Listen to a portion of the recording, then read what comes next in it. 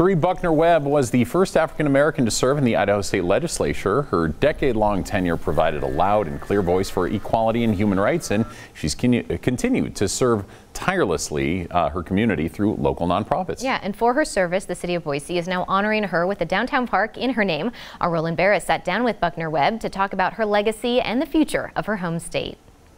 Cherie Buckner Webb was stunned by the announcement that this beautiful downtown park right across from the Boise Cascade building she once worked in would bear her name. I was blown away. I'm so glad you weren't in my neighborhood. I think everybody for two blocks heard me say, what?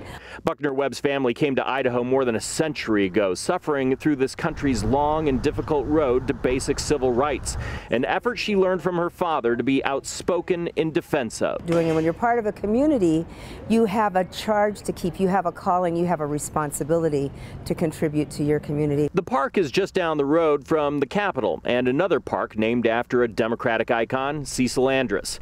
Buckner Webb says the park epitomizes her efforts over the years to bring people together. It's a big deal to me for us to connect with people we might not in our own little cubicles.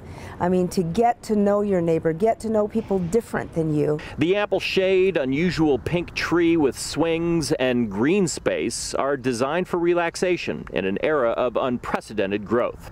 We're turning into a major city. You can stop for a moment, come to the park, even bring your kids after work, just kind of sit around, see your neighbors, say hey, whether you're acquainted or not. But that's the beauty of a park. Buckner Webb says the park is not the end of her legacy, just a continuation of it. She says she has lots more work left to do.